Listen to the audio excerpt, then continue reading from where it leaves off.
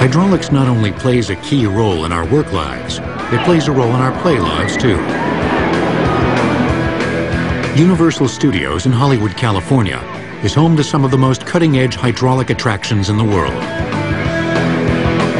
You would not be able to have any of these attractions move this much weight and be this reliable without hydraulics. It just would never happen. One of the more complex hydraulic attractions at Universal Studios is Earthquake the Ride. Passengers entering this stage are given an idea of what it's like to endure a massive seismic event.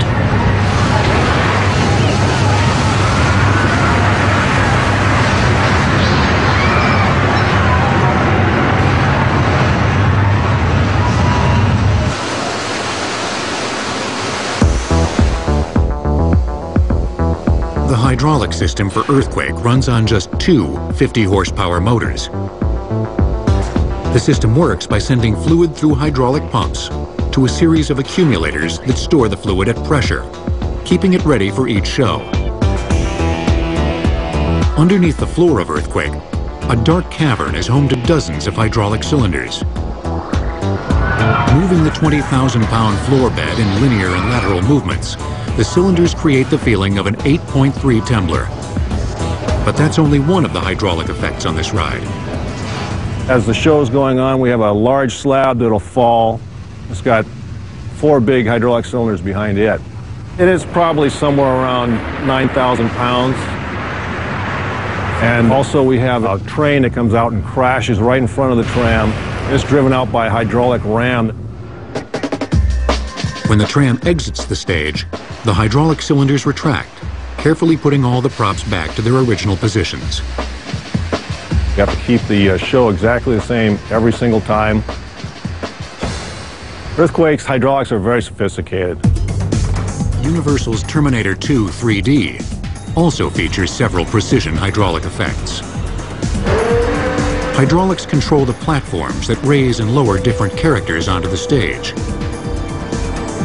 And they also animate the six gun-toting Cyberdyne robots, using 3,000 psi pumps to actuate cylinders in the head, torso, and arms.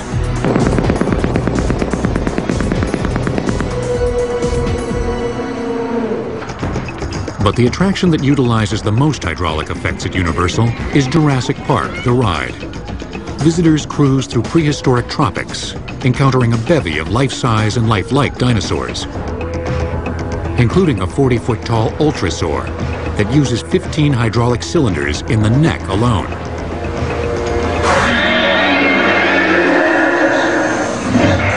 This particular figure we just saw, the oil comes in here. This is a pressure line.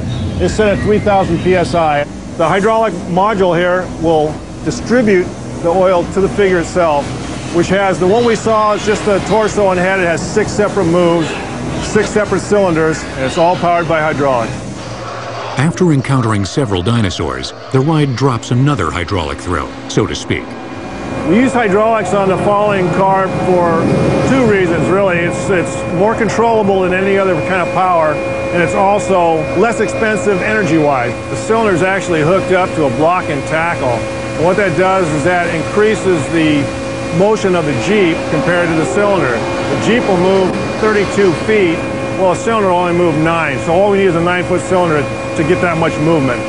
That increases the force on the cylinder, but the hydraulics overcomes that and it, it's no problem at all. Then there's Waterworld, which uses a hydraulic catapult to launch a 2,000-pound airplane 60 feet across a man-made lake. And of course, there's old Bruce the Shark. With so many hydraulic attractions, it's no surprise that even the trams at Universal run with the help of hydraulics.